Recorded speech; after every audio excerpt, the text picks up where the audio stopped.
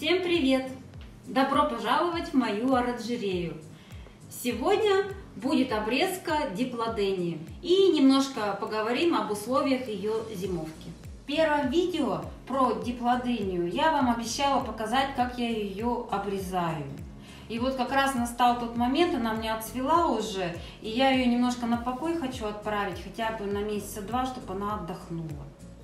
Перед тем, как ее отправить на зимовку, ее, конечно, нужно обрезать, вот эти длинные побеги все убрать, потому что диплодения, она очень быстро разрастается, и если ей не делать обрезку, то она просто создаст джунгли. Она все, все, все заплетет своими ветками.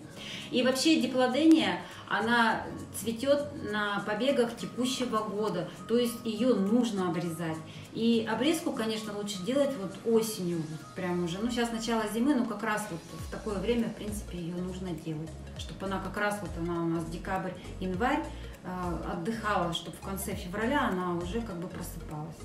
И, кстати, вот осенняя обрезка, она очень хорошо э, сказывается э, зимовка, к зимовке, вот как ее готовить.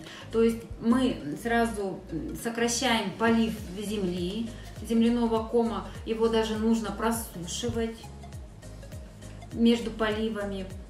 Ну, не сильно пересушивать. Ну, вот подсушили ком, потом полили, и вот так вот как бы. И температура должна быть где-то плюс 15 ну, не опускаться ниже плюс 12 градусов. Она у меня стоит вот как раз в ванной на подоконнике, и там как раз вот температура где-то вот ну, на окне, ну, где-то 17 градусов, в принципе, вот как раз ей хорошо. Хотя вот я вижу, что у нее там вот где-то на одной веточке вот сейчас даже и бутоны есть. Но вот эти вот длинные побеги, вот, в принципе, вот здесь вот сухая вот веточка. Вот она, видите, вот здесь как бы раздвоилась, да, вот такая, такой побег. То есть вот так вот я буду убирать. Ну, вот это вот тоже вот здесь вот уберу. Так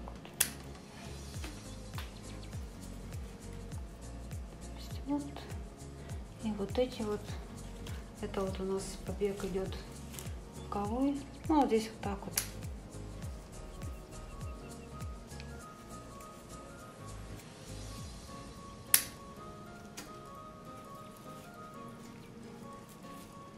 Ну, я так примерно здесь получается здесь так вот.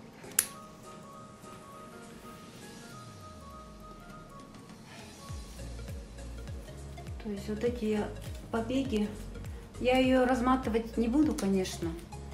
Я ее вот прям вот вокруг вот этой решеточки сейчас подстригу. Пойдет.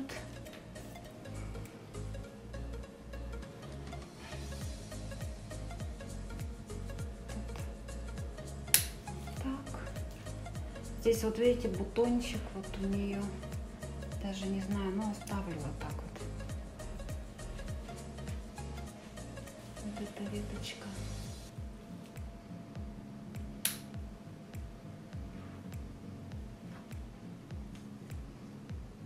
Здесь вот тоже, видите, бутон. Но оставлю я, конечно, тоже, наверное, не знаю, что-то жалко мне, конечно, обрезать бутончики. Ну, она мне цвела обильно очень так. Цвела она у меня хорошо.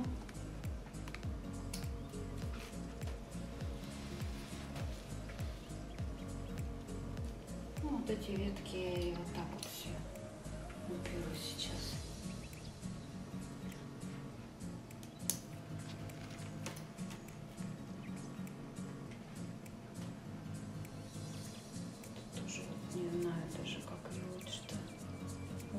Здесь вот мне не нравится. Знаете, вот так ее обрежу. Вот здесь вот, кстати, вот видите, вот это укоренится вообще хорошо часть.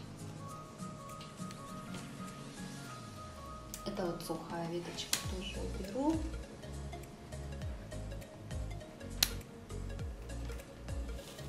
Вот этот побег тоже надо вытянуть. Вот вот здесь вот отсвежший.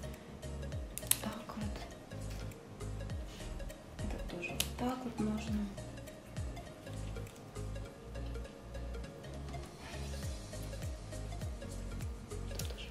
стягивался. Здесь вот сухие веточки, вот этот усик вот так вот обрежу. Так, это что тут?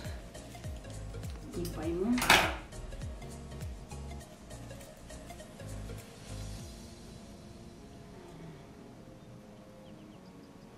Тоже такие вот эти экземпляры, вот не прям вообще хорошо их укоренять. Здесь я вот так вот его обрежу. Здесь так обрежу. Я его заверну.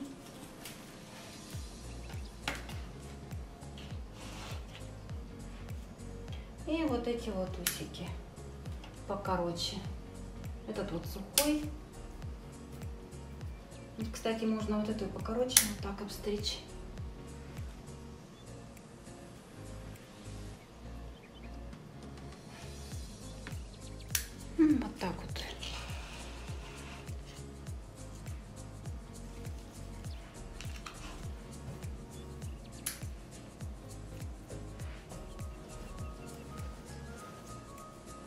Вот этот вот можно тоже какой-то. Сейчас я его попробую размотать даже, может его попробовать покороче обстричь.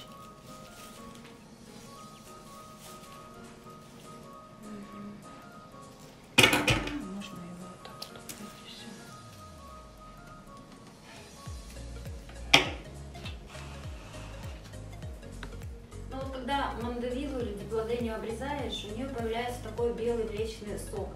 Ну, желательно, конечно, если соприкасаетесь с этим соком, работать в перчатках, или хорошо после обрезки, вот, допустим, помыть руки с мылом. Ну вот я обрезала свою мандавилу, я ее сильно так не обрезала, но я ее так всегда обрезаю, и она у меня, в принципе, цветет очень обильно. Она цветет у меня с весны и до поздней осени. У нее даже сейчас вот есть редко-редко, но бутоны есть. Я их, конечно, не убрала, пожалела. А в принципе их и надо было убрать. Ну ладно, не буду я ей такую уж сильно это. А что подсушивать земляной ком я ей буду, конечно. Сейчас я вам покажу еще мою мандевилу, посмотрим, может быть ее тоже стоит обрезать. Вот у меня еще белая диплодения.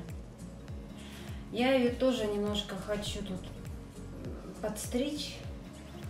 Допустим. Вот она, если вот так вот ветвиться начинает, вот у нее как рогаточка такая, вот так ее обстричь. Так.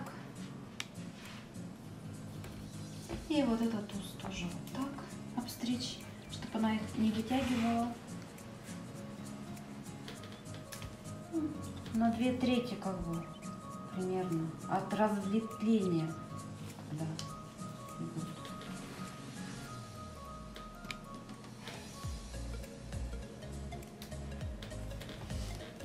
Так пушистее будет. Цвести тоже хорошо. Ну, вот это вот я хочу пустить, конечно, сюда. Здесь тоже